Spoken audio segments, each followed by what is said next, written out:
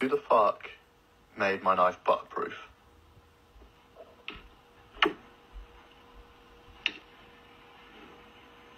What the fuck?